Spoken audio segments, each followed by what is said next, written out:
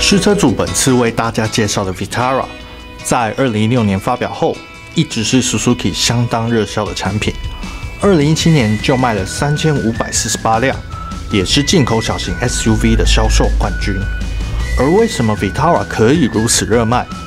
我们可以从车底空间、动力、油耗与越野四个在购车时多数人比较关注的特点进行分析。Vitara 车系有三种等级，本次试驾的是顶级四驱 SO Grade 版，售价是八十九点八万元。首先可以看到 Vitara 外形方正，车尾与现在 SUV 常见的下拉式设计不一样，好处是后座的空间不会受到外形限制，让乘客不会有压迫感。而身高一百七十公分、体型属胖的试车组也实际坐入后座，发现头顶还保有一个拳头的空间，腿部空间还与前座保有两个拳头的距离，这也是轴距为二点五米所具备的特点。前后座都可保有充足的乘坐空间。而另一个好处是后挡玻璃较大，使得驾驶的后方视野宽阔不少。而 Vitara 车长只有四点二米，与 Yaris 这个极具的掀背车差不多。我们知道 Yaris 已经很实用。相较之下，Vitara 有着更充裕的空间，尤其是行李箱三百七十二公升的容量，可以摆下好几个登机箱。若碰上需摆放长形物品的情形，觉得这样还不够用，可以把第二排座椅以六四分离的方式倾倒。如果把座椅全部打倒，大型物品像是脚踏车等，可轻松放入，并有平整的底板，让东西摆放更为平稳。Vitara 车型间的差异仅在动力、四驱系统及配备细节上，像是 Keyless、多功能方向盘、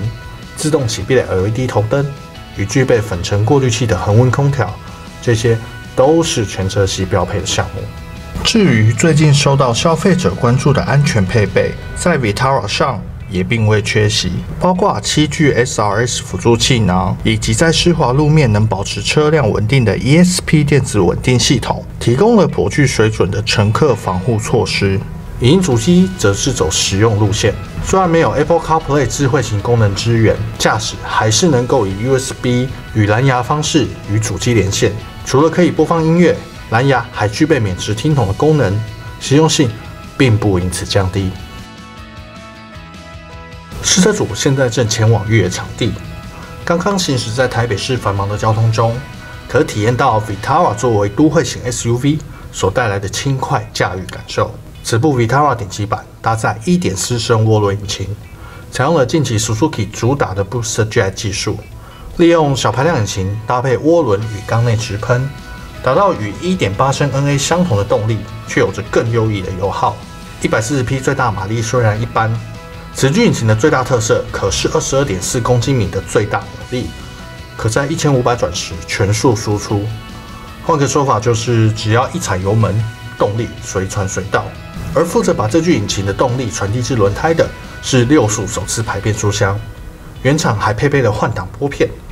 不仅在山路可以固定档位，让动力保持在甜蜜带，想要超车时，也只要手动降档，或者是大脚油门。引擎动力马上涌现，这时才发现超车原来是件这么简单的事。试车组先前也对这部车做过加速测试，零到一百公里实测只要八点三秒，与二点零 NA Mazda Three 的水准相当。我们知道，在市区行驶，除了得留意拥挤的车潮，小巷的穿梭与会车，对体型普遍较大的 SUV 也是一个考验。这时，小尺码的 Vitara 就展现优势了。搭配轻手的方向盘与灵巧的车身动态，不管是会车或者是道路两侧随意停摆的摩托车，比较容易掌握车体位置的 Vitara 都可以轻松通过。一般人买车时，除了关心车价外，油耗够不够低，能不能替车主节省油钱，也是个重点。Vitara 这部车在油耗表现上，官方数据一公升能跑十五公里，而我们实际上论坛与讨论区搜寻的结果。发现 Vitara 车主实际的油耗，市区行驶一公升多在十七公里左右，高速公路则能达到二十公里以上。可见 Booster Jet 技术不仅让动力充沛，还相当省油呢。Vitara 早期依靠着越野能力，给人强悍的硬派形象，演变到现在，虽然风格改成都会取向，可信赖的越野表现依然是 Vitara 与其他车款的最大不同。Vitara 顶级款所使用的四驱系统，原厂取名为 All Grip 智慧型四驱，在一般情形下，系统会自动对应当下路况，驾驶还可以使用旋钮切换运动、雪地与锁定模式，搭配陡坡缓升缓降系统，让驾驶在恶劣路面行驶时能保持稳定。而高底盘的设计也让这部车有着较强的悬吊行程，碰到看似无法通过的坑洞，也无需闪躲，放慢速度，稳定的向前通过障碍，对 Vitara 来说并不困难。在 All Grip 系统与高底盘的搭配下，Vitara 的越野能力并不只是说说而已，而是真的能实际下场游玩的。回顾以上四大特点。Vitara 方正的 SUV 外形有着优异的空间表现，Booster Jet 技术加持的1.4升涡轮引擎，则是兼顾充沛动力与低油耗的优势。All Grip 四驱系统搭配高底盘，使得驾驶能轻松征服恶劣路面。再加上丰富的配备与竞争力足够的价格，成为了 Vitara 如此热销的原因。事实上，就连试车主本身也相当喜欢 Vitara 这部车，尤其是2016年开着它去过武林露营，与长达300公里的长途驾驶后，对于这部车的信任感可是越来越高。